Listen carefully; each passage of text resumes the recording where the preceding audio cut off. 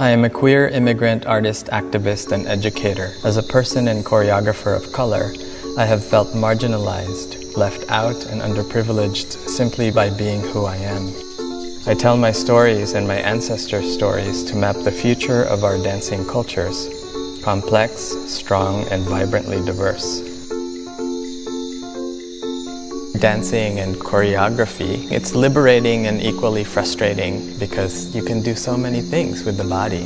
The body itself is already representing a lot of preconceived notions about the body itself and also the viewer.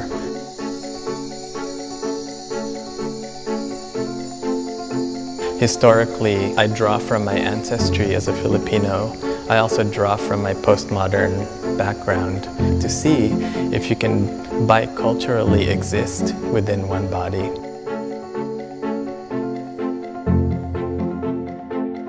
When do I oppress myself and why? What about when you do it to your loved ones or to your culture? When I'm dancing, I need to know what the rules are, and then I can find freedom.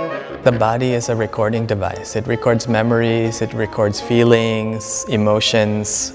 The body in movement, it can be poetic, but it can also be the opposite. It can be very, very robotic.